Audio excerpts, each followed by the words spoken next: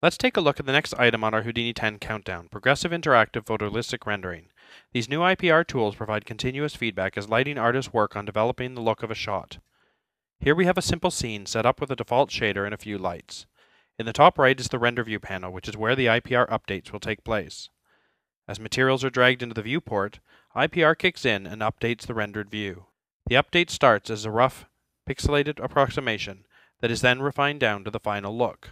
This gives artists continuous feedback, making it easier to make creative decisions on the fly. You can also drag shaders into the render view itself. Later you can edit the shader by control-clicking on the render view to bring up its parameters.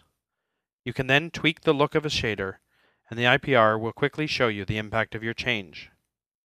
Houdini 10's IPR updates when you make changes to the positions of your lights or to parameters such as color or intensity. You can use either ray traced or depth map shadows, and IPR supports deep shadow maps for casting shadows through transparent objects.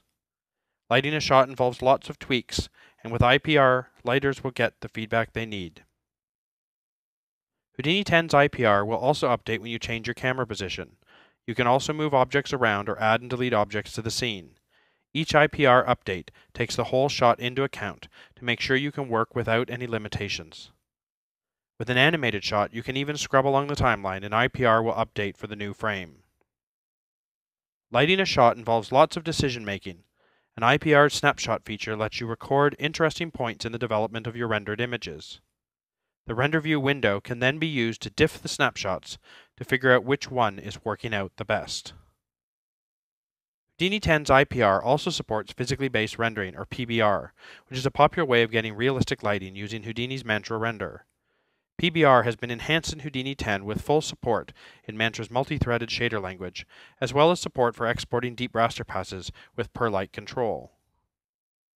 Houdini's Mantra Render is being adopted by studios for a wide range of rendering tasks. With progressive IPR, lighting artists can now work faster with better feedback.